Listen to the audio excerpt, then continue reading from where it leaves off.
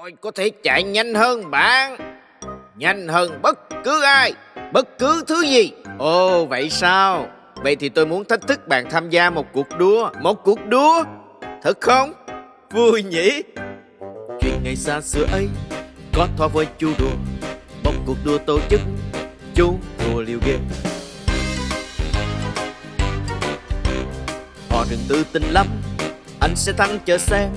Nhưng đùa à Archibald chú nói, Tôi chẳng bỏ cuộc đâu Thế với chú Tho thật nhanh ghê Đùa Archibald chậm ghê. Chẳng hề nghe thấy tiếng kêu và chỗ xuất phát Và đi. Chấm và vững vàng thắng cuộc đua, Giống rùa Archibald Vì anh chẳng bao giờ nhanh đâu, Nhưng anh luôn cố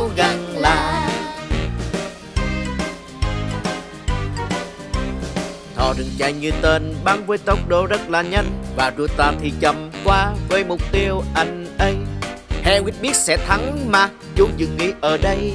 Đùa Archibald không đuổi tới, chú ta không ở đây. Chấm và vững vàng thắng cuộc đua, Giống rùa Archibald.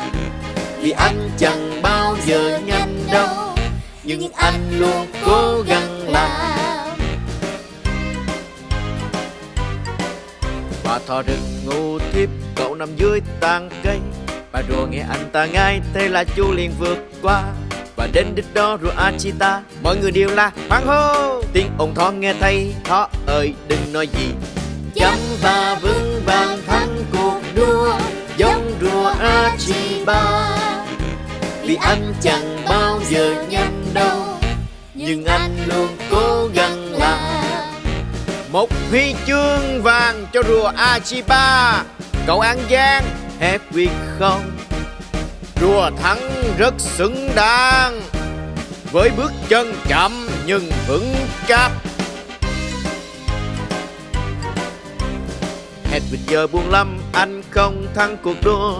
Rồi Archie đến an ui Tho Hãy vui lên, Thỏ ơi. Đó chỉ là cuộc thi ngớ ngẩn, Chẳng có giá trị gì đâu.